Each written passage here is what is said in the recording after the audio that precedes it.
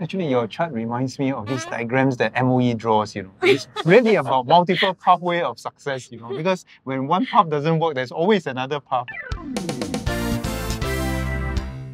So Adilah, what is it about poly that suited your learning style? One thing I like is that there's more group works. For nursing, it's more of I'm working together as a team. In A levels, it's really very individualistic. To me personally, I like the fact that I get to learn from them, they get to learn from me. You like more collaboration with your friends? Yeah, yeah, yeah. Because there's more interaction, which I like. For me, I felt that the group work in poly also had its pros and cons. But then I also didn't like the fact that I was like scared because I was Control. yeah, I'm not in really like full control of my grades. But I know like the experience differs for everyone.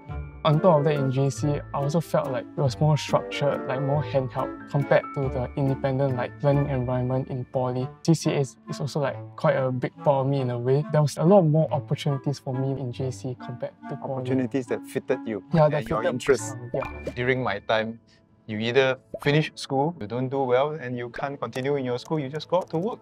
But now, uh, your generation, I think the good thing is that you all have many choices that cater to your interests and cater to your passion. And it's more important to choose what you are really passionate uh, in rather than just try and uh, run on the treadmill and finish the course as soon as you can.